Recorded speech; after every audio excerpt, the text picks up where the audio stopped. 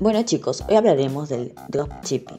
Es un modelo de negocio que se ha puesto de moda en 2018, pero ¿realmente conoces qué es realmente? ¿Conoces sus fortalezas, sus debilidades? Bueno, a continuación vamos a analizar exactamente de qué se trata. Es un modelo de negocio que se basa en la venta online de productos al por menor sin necesidad de tenerlos en stock. Esto lo haremos mediante acuerdos con plataformas online, fabricantes y mayoristas y serán estos los que se encargarán de enviar el pedido a tu cliente. Lo que se consigue de esta manera es por un lado no tener que invertir en stock y por otro vender productos que no dispones físicamente. En el dropshipping tú vendes los productos de un mayorista y este los envía a los clientes sin tú llegar a tocar el producto. Es por esto que es un modelo de negocio en auge en España, ya que puedes crear tu tienda online y empezar a vender desde el primer momento sin invertir en stock, almacenaje. Es un tipo de negocio que requiere muy poca inversión y tiene muy poco riesgo. ¿Cómo funciona el dropshipping exactamente? El funcionamiento del modelo de negocio del dropshipping en líneas generales es bastante sencillo. Una vez tengas la tienda online operativa, puedes vender los productos del proveedor, es decir, tenerlos en stock.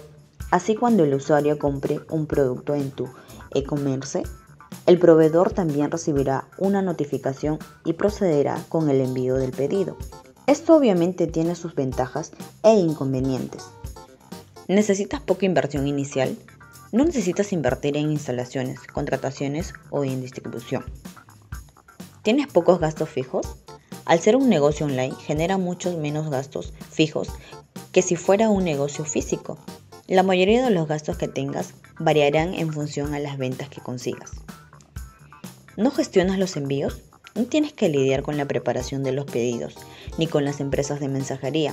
El proveedor se encarga de ello. La ubicación es flexible. Puedes controlar tu tienda desde cualquier sitio, siempre y cuando tengas conexión a Internet. Finalmente, escalable. Aquí nos detenemos un poco para explicarlo con detalle. Es un negocio tradicional. Por lo general, si vendes el doble de productos, tendrás que realizar el doble de trabajo, esto puede ser, por ejemplo, contratar más personal o ampliar las instalaciones, que repercuten en aumentar los gastos. En dropshipping son los proveedores los que se ocupan del almacenaje, de la preparación de los pedidos y de los envíos. Esto te permite crecer exponencialmente sin aumentar mucho los gastos. Muchas gracias por su atención. Eso sería todo.